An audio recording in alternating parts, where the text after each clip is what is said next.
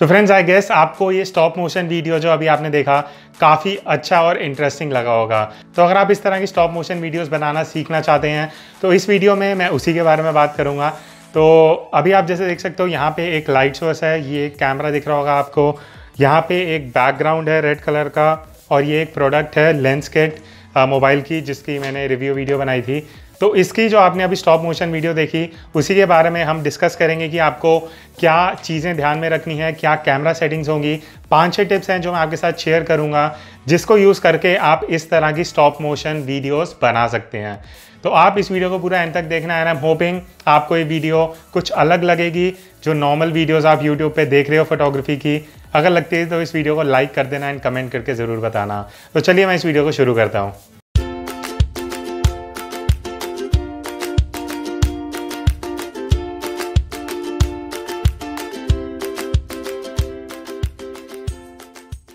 तो फ्रेंड्स जो सबसे पहला पॉइंट है जो आपको ध्यान में रखना है, वो है आपको जो ये शूट है, ये प्लान करना पड़ेगा पहले से।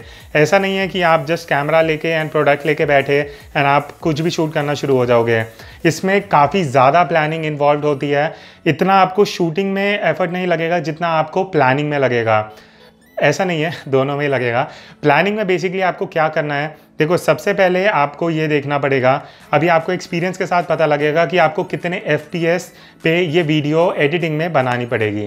पहले तो आप सारी फ़ोटो शूट करोगे। अब 10 से 15 एफ़ के बीच में आपको ये वीडियो स्टॉप मोशन जो वीडियोस बनती हैं वो यूजुअली 10, 12 या 15 एफ़ पे होती हैं। तो ये आपको देखना पड़ेगा कि आपको कितने एफपीएस पे वीडियो शूट करना है। उस हिसाब से आपको उतनी फ़ोटो शूट करनी पड़ेंगी। उस हिसाब से मूवमेंट्स प्लान करना पड़ेगा, वो सब होगा, वो मैं आगे आपको दिखा दूँगा। तो ये सबसे पहली चीज़ है, आपको एफपीएस डिसाइड करना पड़ेगा। आपको पूरा प्लान करना पड़ेगा कि आपको क्या मोशंस दिखानी है, किस तरह से पूरा शूट करना है। तो एक बार आप प्लान कर लोगे, उसके बाद दूसरी चीज़ आपको जो ध्यान रखनी है शूट में, वो है जो आप बैकड्रॉप यूज़ कर रहे हो बैकग्राउंड जो आपके पूरे फ्रेम में कवर्ड होगा, जैसे यहाँ पे आप ये रेड शीट देख सकते हो। यहाँ पे आपको उस हिसाब से प्लान करना पड़ेगा कि आपके जो प्रोडक्ट्स हैं, वो कहीं बैकग्राउंड से कलर मिक्स ना हो, एक दूसरे को कॉम्प्लीमेंट करें और दोनों के कलर्स अच्छे से आए सो दैट आपका जो प्रोडक्ट है वो अच्छे से विजिबल हो एंड जो बैकग्राउंड में कलर्स हैं, वो भी अच्छे से उसमें दिखें। तो ये आपको दूसरी चीज़ कंसिडर अच्छे से करनी पड़ेगी। ऐसा नहीं कि आप कुछ पैटर्न वाला बैकड्रॉप ले रहे हो, काफ़ी डिस्ट्रैक्टिंग बैकग्राउंड ले रहे हो, जहाँ पे रादर देन सब्जेक्ट पे यूज़र की नज़र जाए, वो बैकग्राउंड में ही इतना डिस्टर्ब हो जाए तो वो चीज़ आपको ध्यान रखनी पड़ेगी।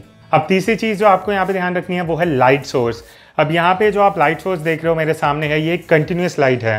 तो आपको ट्राई करना है कि आप कंटिन्यूस लाइट में शूट करो बिकॉज़ अगर आप फ्लैश में या अगर आप विंडो लाइट को यूज़ करोगे, हो सकता है कभी क्लाउड्स आ रहे हैं, कभी सनी हो रहा है तो आपकी जो लाइटिंग है, वो अलग अलग लाइटिंग आएगी स्टॉप मोशन में, और वो बाद में जो आपको फाइनल रिज़ल्ट मिलेगा, वो अच्छा नहीं आएगा।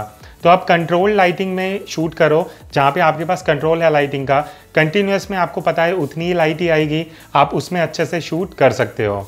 अब जो नेक्स्ट चीज़ आपको ध्यान रखनी है, वो है कि आप जब शूट कर रहे हो, आपका कैमरा एक ही पोजीशन पे रहना चाहिए। आप हैंड हेल्ड शूट नहीं कर सकते। आपको या तो ट्राईपॉड पे रखना पड़ेगा, किसी ऐसे माउंट पे, जैसे आप यहाँ पे देख रहे हो। जो मैंने माउंट यूज़ किया बिकॉज़ मेरे को इस तरह का एंगल चाहिए था और इस सेटअप में ट्राईपॉड में नहीं लगा पा रहा। तो आपको जो भी सेटअप आप क्रिएट करोगे, वहाँ पे आपको ये मेक श्योर करना है कि आपका कैमरा जो है वो एक ही पोजीशन में रहे। उसकी पोजीशन थोड़ी सी भी चेंज नहीं होनी चाहिए। अगर वो होता है तो आपका एंड में जो रिज़ल्ट आएगा, वो स्टेबल नहीं होगा और वो प्लीजिंग टू आइज़ नहीं होगा। अब लास्ट चीज़ और सबसे मेन चीज़ हम आते हैं, वो है कैमरा सेटिंग्स सबसे पहले आपको अपने कैमरा को मैनुअल मोड पे स्विच करना है। ये बहुत इंपॉर्टेंट चीज़ है बिकॉज़ जैसे मैंने बताया लाइट आपको सेम रखनी पड़ेगी। और उसी वजह से आपको जो कैमरा सेटिंग्स हैं, वो आपको मेक श्योर करना है कि एकदम सेम रहें उस कंडीशन में। अगर आप ऑटो पे या शटर प्रायोरिटी पे डालते हो हो सकता है वो कैमरा सेटिंग्स इधर उधर हों और बाद में जो आपको फाइनल रिज़ल्ट मिलेगा, उसमें एक्सपोजर चेंजेस आएँगे। सबसे पहले मैनुअल मोड पे स्विच करोगे। दूसरी चीज़, आपको सबसे पहले अपर्चर वैल्यू सेट करनी है। अपर्चर वैल्यू आप जब शूट कर रहे हो ट्राई करो कि आप स्वीट स्पॉट एपर्चर वैल्यू पे रखो। अगर आपको स्वीट स्पॉट नहीं पता, ऊपर आई कार्ड में आपको वीडियो मिल जाएगी। आप वो देख सकते हो।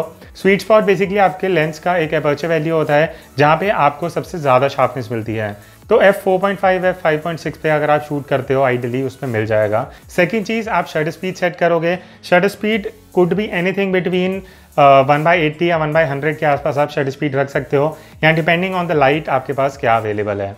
थर्ड चीज़ आईएसओ है। आई अब एपर्चर और शटर स्पीड के डिपेंड करता है कि वो कॉम्बिनेशन करके आपको आईएसओ कितना मिल रहा है। अगर 100 पे आपको परफेक्ट एक्सपोजर मिल रहा है दैट्स ग्रेट नहीं मिल रहा तो आप आईएसओ थोड़ा इंक्रीज कर सकते हो। वाइट बैलेंस आपका मैनुअल पे रहेगा। आप मैनुअली एक वाइट बैलेंस सेट कर लेना, उसी पे वाइट बैलेंस रहेगा। तो ये चीज़ें हैं कैमरा सेटिंग्स की। तो अब मैं आपको कुछ शूट करके दिखाता हूँ। फास्ट फॉरवर्ड मोड पे मैं दिखा दूँगा, जैसे मैं शूट कर रहा हूँ and end result I show it once again